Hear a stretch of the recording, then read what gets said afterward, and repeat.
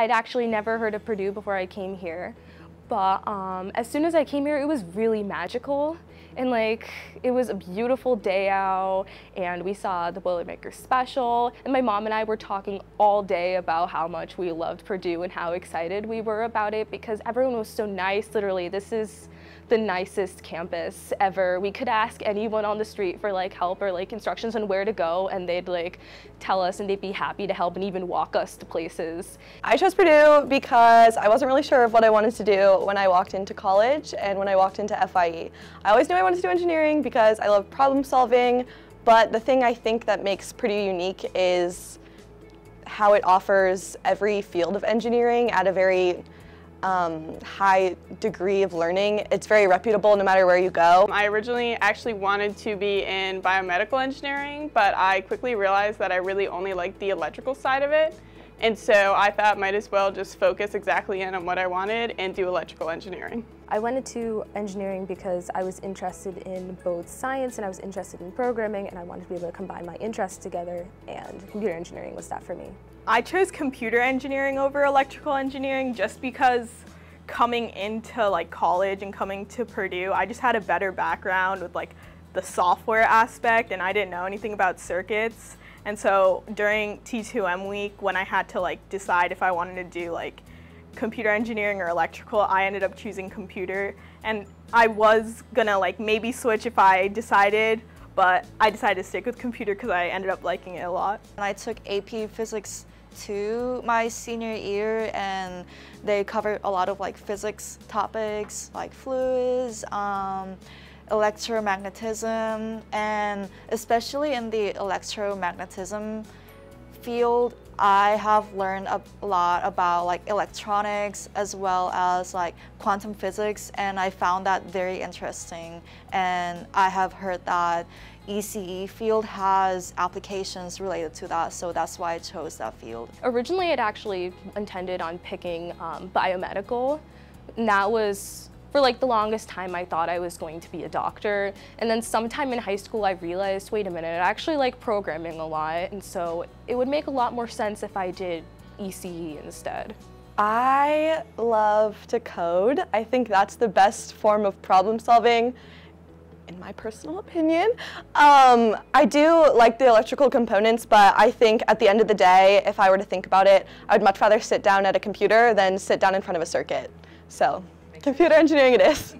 My favorite class so far is ECE 270, which that's like a hardware design class and you use code, you use Verilog code to like code the hardware of a circuit and this past week we actually did both, which we've never done. You like code the code for the circuit and then you build the circuit and so we put those two together and it was honestly so much fun.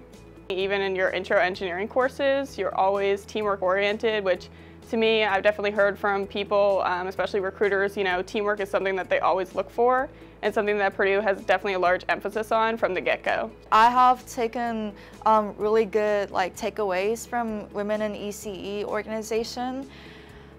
I have joined it because I wanted to promote um, like the um, advancements that women have brought to the ECE field and also wanted to educate people about um, the contributions that women have made. And I also wanted to bring a supportive community for other women um, students in ECE as well as uh, future women as well. WECE is a great opportunity to make friends that are in the same major and that are on the same path as me. I think something that I struggled with when I first came to Purdue was the fact that a lot of my friends weren't on the same path that I was and they had a lot of different um, priorities, I would say.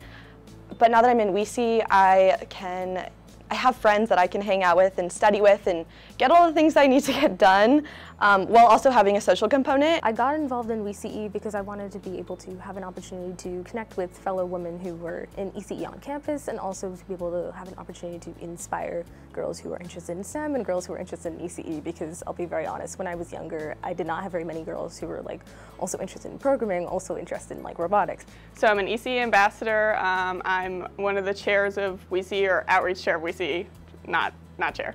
Um, and outside of that, I'm just very heavily involved in Purdue sports. So you always see me um, as low as possible at the Purdue basketball games, as low as possible um, at the Purdue volleyball games, and pretty much any sports, even football. On campus, I'm involved in ESES and WECE, of course, but on top of that, I'm also in SWE, which is Purdue Society of Women Engineers, and I'm also in Purdue Dance Marathon. As a woman, I have felt that there are not enough representations of women in the engineering field. It has um, gotten better than the past, but there are still spaces left for improvements. So having um, representations of women engineers will encourage future women to further pursue engineering fields as well as leadership positions in the engineering discipline.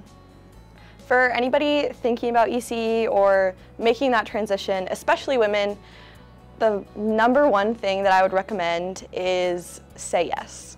No matter what you're offered, say yes. You never know what it could lead to. You never know who your next best friend is. You never know what your next great adventure is. You never know what's going to turn into a job opportunity or at the end of the day, any form of learning experience. Don't be afraid to try something new and even though, even if you see a whole bunch of men in the field, it's okay, you're not going to be alone.